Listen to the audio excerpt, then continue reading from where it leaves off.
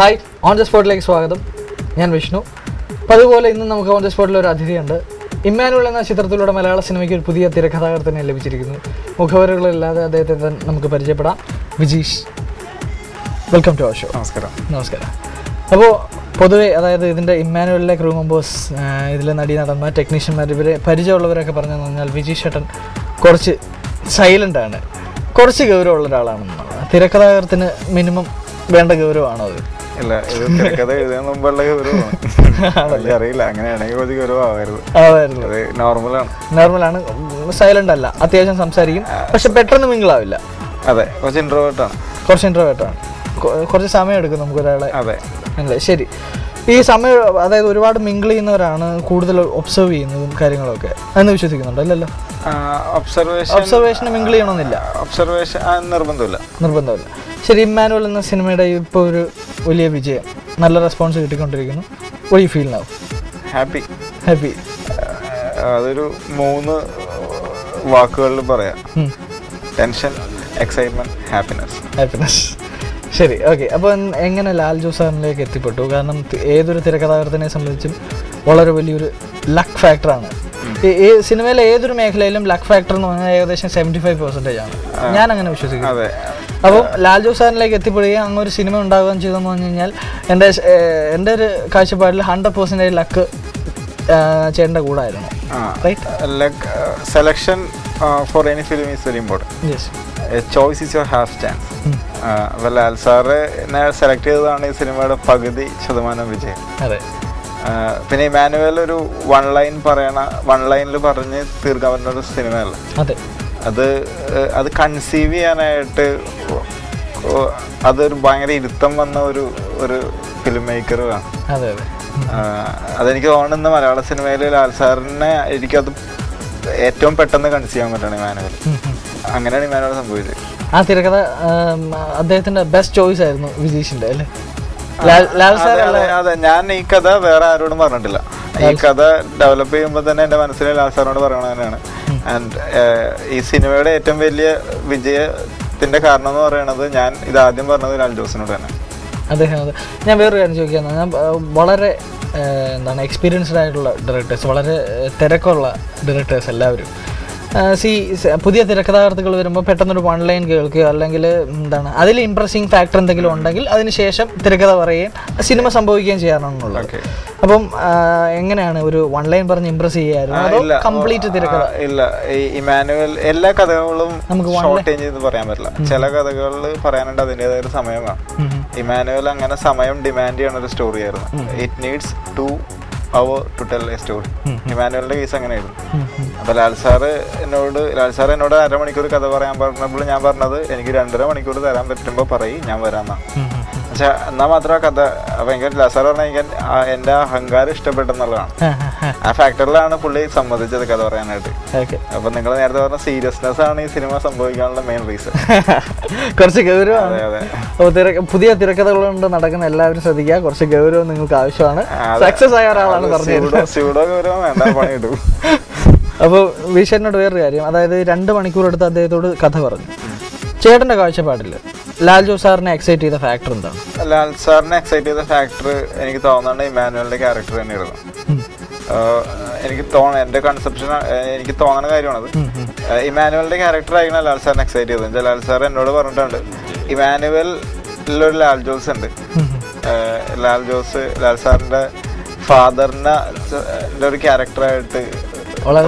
സാമ്യം തോന്നാറുണ്ട്.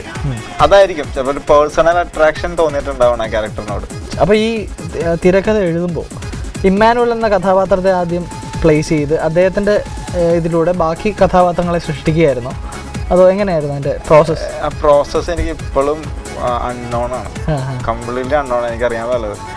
ആനി ഖദീജുമ്മ വളരെ ബാലചന്ദ്രൻ സാർ ചെയ്ത കഥാപാത്രം. ഇതൊക്കെ വളരെ ടച്ചിങ് ആണ്. എല്ലാത്തിനും ഒരു ഐഡന്റിറ്റി ഉണ്ട് ഏതൊരു കഥാപാത്രം. അതാണ് ഞാൻ ചോദിച്ചത്. എനിക്കിപ്പോഴും ഇപ്പോഴും അതിപ്പോ കുറെ കുറച്ച് പേര് എന്നോട് ചോദിക്കാറുണ്ട്. എനിക്കിപ്പോഴും ഞാൻ എഴുതാനിരിക്കുമ്പോൾ എന്താണ് വരാമെന്ന് എനിക്കൊരു ഐഡിയ ഇല്ല. അപ്പൊ അത് അത് ചിലപ്പോ ഭയങ്കര നാച്ചുറൽ ആയിട്ടുള്ള എനിക്ക് അറിയാൻ പോലെ എങ്ങനെയാണ്.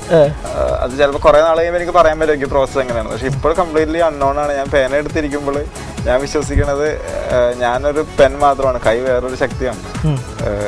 അപ്പോൾ അപ്പൊ അങ്ങനെ ഒരു ശക്തിയുടെ ഒരു ശക്തി ഒരു ഒരു ഒരു സഹായം കൊണ്ട് എഴുതി പോയ ഒരു കഥയാണ് ഇമ്മാനുവൽ ആണ് ഈ ചിത്രത്തിന്റെ ബാക്ക് ബോൺ അപ്പൊ ഇത് കാസ്റ്റിംഗ് പ്രോസസ് ഒക്കെ ആദ്യമേ നടന്നിരുന്നു അതോ? കാസ്റ്റിംഗ് കഥ പറയുമ്പോൾ ഫസ്റ്റ് കാസ്റ്റ് മമ്മൂക്ക നല്ല സെൻട്രൽ ക്യാരക്ടർ തന്നെയായിരുന്നു. പിന്നീട് സ്ക്രിപ്റ്റിങ്ങിന്റെ സമയത്തുള്ള കാസ്റ്റിംഗ് ആയിരുന്നു. ഈ ഈ ചിത്രത്തിൽ ഈ കോർപ്പറേറ്റ് കമ്പനീസിലെ ഡാർക്ക് ഷെയ്ഡ്സ് അല്ലെങ്കിൽ ഡാർക്ക് ഇന്റീരിയേഴ്സ് ഭയങ്കരമായിട്ട് എക്സ്പോസ് ചെയ്യാനുള്ള ബോധപൂർവമുള്ള ശ്രമം നടത്തി നടത്തിയിട്ടുണ്ട്. അത് എന്തുകൊണ്ടാണ്? ഫോർ മീ ഇമാനുവൽ എന്ന് പറയുന്നത് war between profit and humanity അതാണ് എന്റെ ഒരു view point Emmanuel.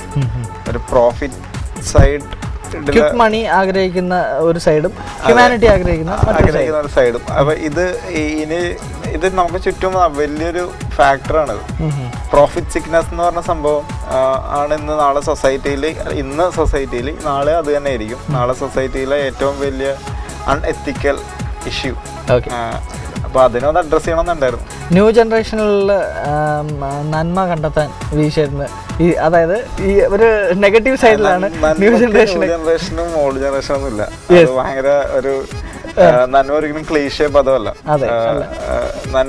New generation ആയാലും ഓൾഡ് ജനറേഷൻ ആയാലും എങ്കിലും ചെറിയൊരു പരാതി അതായത് new generation C so called M B A കഴിഞ്ഞ് അതല്ലെങ്കിൽ പ്രൊഫഷണൽസ് എല്ലാം പ്രോഫിറ്റ് ഷെയറിങ് അല്ലെങ്കിൽ പ്രോഫിറ്റ് സിക്നസ് മാത്രമാണ് ഹ്യൂമാനിറ്റിയോട് വളരെ അകന്നു നിൽക്കുന്നു ഈ സിനിമയിലൂടെ ഇവിടെ പറയാൻ ശ്രമിച്ചിട്ടുണ്ട്. അല്ല അത് അത് റിയാലിറ്റി ആയതുകൊണ്ടാണ്. ലോകം ഭയങ്കര സെൽഫിഷ് ആയി പോകും. പ്രോഫിറ്റ് സിക്ക് ആകുമ്പോൾ പക്ഷെ അങ്ങനെ സെൽഫിഷ് ആയി കഴിഞ്ഞാൽ ലൈഫ് ഭയങ്കര ബോറിംഗ് ആയി പോകും. ശരിയാണ്. പണ്ട് ആൾക്കാർ ജീവിതം ആസ്വദിച്ചിരുന്നത് സെൽഫിഷ് ഫ്രം ഹാർട്ട് അതെ അതാണ് കാര്യം. പിന്നെ ഒരു കലാകാരൻ എന്നുള്ള ഒരു കലാകാരന്റെ ഏറ്റവും ധാർമ്മികമായ ഉത്തരവാദിത്വം എന്ന് ഞാൻ വിശ്വസിക്കുന്നത് ഒരു നന്മ എന്നുള്ള ഒരു ഫാക്ടറിനെ സ്പ്രെഡ് ചെയ്യുക എന്നുള്ളത് ഓക്കെ അത് ഒരാളിലേക്ക് എത്തും അയാൾ വേറൊരാളിലേക്ക് എത്തിക്കും. അങ്ങനെ ഒരു ഒരു അങ്ങനെ ഒരു വലിയൊരു ഒരു സംഭവം ആവുക എന്നുള്ളത് അങ്ങ അങ്ങൊരു ഉത്തരവാദിത്തം ഏതൊരു കലാരൂപത്തിനും ഉണ്ടല്ലേ? എല്ലാ- ഉണ്ട്. ഓക്കെ. അപ്പോൾ ഇമ്മാനുവൽ എന്ന കഥാപാത്രമായി സാമ്യം ചെയ്യുന്ന സാമ്യമുള്ള ആരെങ്കിലും ചേട്ടൻ പരിചയപ്പെട്ടിട്ടുണ്ടോ? അതല്ലെങ്കിൽ പരിചയപ്പെട്ട കൊള്ളാന്നുണ്ട് പക്ഷെ ആരെയും പരിചയപ്പെട്ടില്ല ഓക്കെ. ഇമാജിനേഷൻ ആണ് ഇമ്മാനുവൽ. ഇമാനുവൽ കംപ്ലീറ്റ് ഇമാജിനേഷൻ ആണ്. പക്ഷെ ജീവൻ രാജിനെ ഒരു പക്ഷേ പരിചയപ്പെട്ടിട്ടുണ്ട്. അല്ല എല്ലാവരും ഇതിൽ ഇമാനുവലിന്റെ കഥയിലുള്ള സംഭവം ഒരു എഴുത്തുകാരനും എല്ലാ എഴുത്തുകാരും കണ്ടും കേട്ടും മാത്രമേ തിരക്കഥ എഴുതാൻ പറ്റുള്ളൂ. ഈ ലോകത്തിലെ ഏത് തിരക്കഥയായാലും സ്മെൽ സ്മെൽ ചെയ്തിരിക്കുന്ന തിരക്കഥ എഴുതാൻ പറ്റില്ല. അപ്പൊ നമ്മൾ കണ്ടേക്കണതും കേട്ടേക്കണതുമായ കുറെ ഫാക്ടേഴ്സും മാനറിസങ്ങളൊക്കെ എഴുത്തിൽ വരും.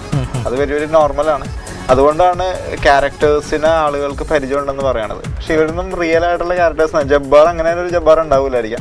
പക്ഷെ ജബ്ബാറിന്റെ മനസ്സുള്ള അച്ഛന്മാരുണ്ടാവും ചുറ്റും. കണ്ടിട്ടുണ്ടാവും ആളുകൾ ഇമാനുവലിന്റെ നന്മയുള്ള ആളുകൾ കണ്ടിട്ടുണ്ടാവും ഉം. അപ്പൊ അവിടെയാണ് നമുക്കൊരു ഒരു റിലേഷൻ തോന്നണ ആളുകളോട്. ഈ ക്യാരക്ടർ അങ്ങനെ തന്നെ ഉണ്ടെന്ന് വെച്ചാൽ ഉണ്ടാവില്ല ഓക്കെ ഈ സിനിമ ഫസ്റ്റ് ദിവസം തന്നെ പോയിരുന്നു കണ്ടോ? ഞാൻ ഫസ്റ്റ് എന്റെ എന്റെ പിന്നിലെ ടെൻഷൻ അതായത് എഴുതി വെച്ച തിരക്കഥയിൽ നിന്നും ഒരുപടി മുകളിലായിരുന്നു. അതല്ലെങ്കിൽ എന്തെങ്കിലും സംഭവം വിട്ടുപോയതായി തോന്നി. അങ്ങനെ എന്തെങ്കിലും? ഇല്ല ഒന്നും വിട്ടില്ല നമ്മൾ ഷൂട്ട് ചെയ്യുമ്പോൾ നമ്മളുണ്ടല്ലോ. അപ്പൊ ഒന്നും ആ, പിന്നെ ഒരു ക്ലീൻ ഡിസ്കഷൻ ഉണ്ടായിരുന്നു. സിനിമയുടെ ഓരോ സ്റ്റേജിലും ട്രാൻസ്പെറന്റ് അതെ. പിന്നെ എനിക്ക് തോന്നിയ ഒരു കാര്യം ഷൂട്ടിംഗ് കഴിഞ്ഞപ്പോൾ സിനിമ കണ്ടപ്പോൾ ഞാൻ കൺസീവ് ചെയ്ത ഇമാനുവലിന്റെ അപ്പുറത്തേക്ക് ലാൽ എന്നെ കൺസീവ് ചെയ്തിട്ടുണ്ട്. അതായത് അത് അങ്ങനെ തന്നെ വേണം. ഒരു ഫിലിം മേക്കർ എപ്പോഴും സ്ക്രിപ്റ്റ് റൈറ്ററിന്റെ മുകളിൽ നിൽക്കണം. തീർച്ചയായിട്ടും. എന്നാൽ മാത്രമേ സിനിമ ഫിലിം മേക്കറുടെ സിനിമ ആവുള്ളൂ. അത് അത് സംഭവിച്ചിട്ടുണ്ട് ഇതിൽ. ഈ സിനിമയിൽ ഒരു as a film maker Lal Jo sir ഏറ്റവും ഗംഭീരമായി ചെയ്തു എന്ന് തോന്നിയ ഒരു സീൻ പറയാം. നമുക്ക് ഭയങ്കര ടച്ചിങ് ആയിട്ട് തോന്നി. ഏതൊരു സിനിമ നമ്മൾ കണ്ടാലും അതിൽ ഏതെങ്കിലും ഒരു ഫാക്ടർ നമ്മുടെ മനസ്സിലുണ്ടാവും. ഇറങ്ങുമ്പോൾ തിയേറ്റർ കഴിഞ്ഞ് ഇറങ്ങുമ്പോൾ നമ്മൾ വീട്ടിൽ ചെല്ലുമ്പോൾ ഉറങ്ങുമ്പോൾ എനിക്ക് തോന്നിയ ചില ചില സീൻസ് ഇതിലൊരു സീനുണ്ട് ഇമാനുവൽ ഹോസ്പിറ്റലൈസ്ഡ് ആയിട്ട് അപ്പുറത്ത് ഇഞ്ചക്ഷൻ ചെയ്യാൻ പറ്റുന്ന കുട്ടീനെ നോക്കിയിട്ട് കുറച്ച് ഗോസ്റ്റ് കാണിക്കുന്ന ഒരു ഏരിയ ഉണ്ട്. അത് ഞാൻ എഴുതി വെച്ചിട്ടുണ്ടായിരുന്നു. പക്ഷെ അതിന് ഒരു ഇമ്പാക്റ്റ് ആ ക്യാരക്ടറിന്റെ വേറൊരു മാനറിസം സിനിമ കണ്ടപ്പോൾ തോന്നിയിരുന്നു ഓക്കെ ചെറിയ ചെറിയ മൈന്യൂട്ട് കാര്യങ്ങൾ പക്ഷെ അങ്ങനെ മൈന്യൂട്ട് ഡീറ്റെയിലിങ്ങിലാണ് ക്യാരക്ടറൈസേഷൻ പെർഫെക്റ്റ് ആണ്. അത് സംഭവിച്ചിട്ടുണ്ടായിരുന്നു ഓക്കെ ഈ ചിത്രത്തിൽ ഖദീജമ്മ എന്ന കഥാപാത്രം സുകുമാരി അമ്മ അതായത് മലയാളി പ്രേക്ഷകർക്ക് ഇപ്പോൾ എന്താണ് വളരെ വലിയൊരു വേർപാടാണ്. അപ്പോൾ ഈ സിനിമയുമായി വർക്ക് ചെയ്യുന്ന സമയത്ത് സുകുമാരി അമ്മയായിട്ടുള്ളൊരു എക്സ്പീരിയൻസ് ഉണ്ടായിരുന്നു രണ്ട് ദിവസമാണ് ഞാൻ സുകുമാരി അമ്മനെ കണ്ടത്. കണ്ട് സംസാരിച്ചു ക്യാരക്ടേഴ്സ് ഒക്കെ പറഞ്ഞു കൊടുത്തു. ഞാൻ ഭയങ്കര ഒരു കൊച്ചുകുട്ടിയെ പോലെ തന്നെയാണ് നിന്നത്. വെച്ചാൽ എനിക്ക് ഞാൻ ചെറുപ്പം പോലെ കാണുന്നത് ഭയങ്കര എക്സ്പീരിയൻസ്ഡ് ആക്ട്രസ് ആണ്. തീർച്ചയായിട്ടും. ആഹ് എനിക്ക് കിട്ടിയൊരു ഭാഗ്യം എന്ന് പറഞ്ഞത് എനിക്ക് അവർ എനിക്ക് ആ ഒരു വലിയ ലെജൻഡിന്റെ ഒരു ബ്ലെസ്സിങ് ആണ് എന്റെ ആദ്യത്തെ പടത്തിന് കിട്ടിയത്. ആ ബ്ലെസ്സിങ്ങിലേക്കാണ് ഞാൻ മുന്നോട്ട് പോകാൻ പോണത്. വലിയ അനുഗ്രഹമായിരുന്നു നല്ലൊരു ക്യാരക്ടർ എഴുതാൻ പറ്റി. ഉം, ഉം. സന്തോഷം ഉണ്ടായില്ലേ ചേട്ടാ ഏത് സൂപ്പർ ഹിറ്റ് സിനിമ ഉണ്ടായാലും ഏത് സൂപ്പർ ഹിറ്റ് തിരക്കഥകൾ ഉണ്ടായാലും അതിന് പിന്നിലെല്ലാം ഒരു ക്രിട്ടിക് സൈഡ് ഉണ്ടാവും. കാരണം ക്രിട്ടിക്സ് എന്താണ് ഏതൊരു കലാകാരന്റെയും ചവിട്ടുപടി എന്ന് വേണമെങ്കിൽ പറയാം. അല്ലേ? അപ്പോൾ ഇതിൽ ഈ ചിത്രത്തിന് വന്ന അതായത് എന്റെ ക്രിട്ടിക്സ് അല്ല സി മാഗസിൻസിലായാലും അതല്ലാതെ ആയാലും വന്ന ക്രിട്ടിക്സിൽ ഒന്നാണ്. ഈ ഇമ്മാനുവൽ എന്ന കഥാപാത്രം what of he does is what I say something more divine than human അതായത് ഒരു മനുഷ്യനിൽ നിന്നും ഭയങ്കരമായ ദൈവികത അതല്ലെങ്കിൽ ഇതിപ്പോൾ നിലവിലുള്ള ഒരാളല്ല. അദ്ദേഹം ചെയ്യുന്നതെല്ലാം അദ്ദേഹത്തിന്റെ പോസിറ്റീവ്സ് ഭയങ്കരമായി എക്സ്പോസ് ചെയ്ത് ഒരു ഇമാജിനറി കഥാപാത്രം ഉണ്ടാക്കിയേക്കുന്നു റിയാലിറ്റിയിൽ നിന്ന് വിട്ടു നിൽക്കുന്നു എന്നാണ് ക്രിട്ടിക്സ് ഓക്കെ. ഇതിനെ എങ്ങനെ കാരണം ഈ കയ്യിൽ നിന്ന് പിറന്ന ആളാണ് ഇമ്മാനുവൽ. അപ്പം തീർച്ചയായിട്ടും. അല്ല ഡിവൈനിറ്റി എന്നുള്ളത് മനുഷ്യ മനുഷ്യനിൽ നിന്ന് മാറി നിൽക്കുന്ന ഒരു ഫാക്ടർ അല്ല. Divinity is very much human അതാണ് എനിക്ക് അവരോട് പറയാനുള്ളത്. വെച്ചാൽ എല്ലാ എല്ലാ മനുഷ്യരിലും ഒരു ദൈവം ഉണ്ടെന്നാണ് ഞാൻ വിശ്വസിക്കണത്. തത്വമസി എന്നൊക്കെ പറഞ്ഞ കൺസെപ്റ്റ് ആണത്. അപ്പൊ അങ്ങനെയുള്ള കൺസെപ്റ്റ് ഉണ്ടായ ഒരു ഒരു വലിയ രാജ്യമാണത്. അപ്പൊ എന്റെ എനിക്ക് തോന്നുന്നത് ഇമാനുവൽമാര് ഇവിടെ ഇല്ലാത്തതിന്റെ ഒരു പ്രശ്നമാണ്. അവരാരും കാണാനില്ല അവരെയൊന്നും. ഭയങ്കര ലാക്ക് ചെയ്യണ്ട അങ്ങനെ ഈ ഇമാനുവൽമാർ പക്ഷെ ഇവിടെ ഒരു മാറ്റം ഉണ്ടാക്കണത് ഒരിക്കലും ഒരു ഒരു വലിയൊരു ഒരു പവർഫുൾ ആയിട്ടുള്ള ആളൊന്നും ആയിരിക്കില്ല അങ്ങനെ ചെറിയ മനസ്സുള്ള ചെറിയ ആളുകളായിരിക്കും ഇവിടെ മാറ്റം ഉണ്ടാക്കാൻ പോണത്. ഞാനതിലാണ് വിശ്വസിക്കണത്. I believe in Emmanuel